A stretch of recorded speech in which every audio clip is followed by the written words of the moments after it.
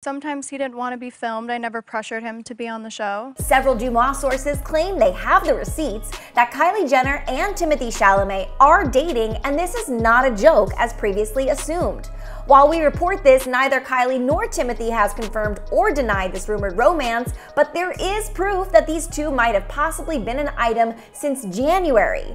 This all started when DeuxMoi posted a tip from a follower saying, Anon please, multiple sources have told me that Timmy C has a new girl, Kylie Jenner followed by two coffin emojis. DeuxMoi did add her read with caution symbol to this post, which means to her that this tip, quote, seems like BS, but she's still posting it to see what her followers know about this. And boy, did her followers know a lot. It turns out that this might not be BS, as several DeuxMoi followers seem to confirm this rumor, with one source adding, quote, I can 100% confirm that, and another chiming in with, quote, I can confirm about Timothée and Kylie. I've known about them since January January.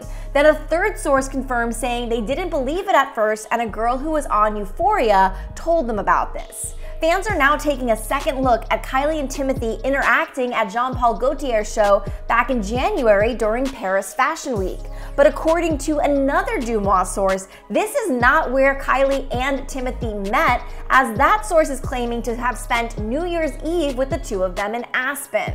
Another DeuxMoi source thinks that Kylie and Timothée went to Turks and Caicos together, as Timothée was on a flight with this source to Turks in late January, the same time that Kylie was photographed there in her thonkini.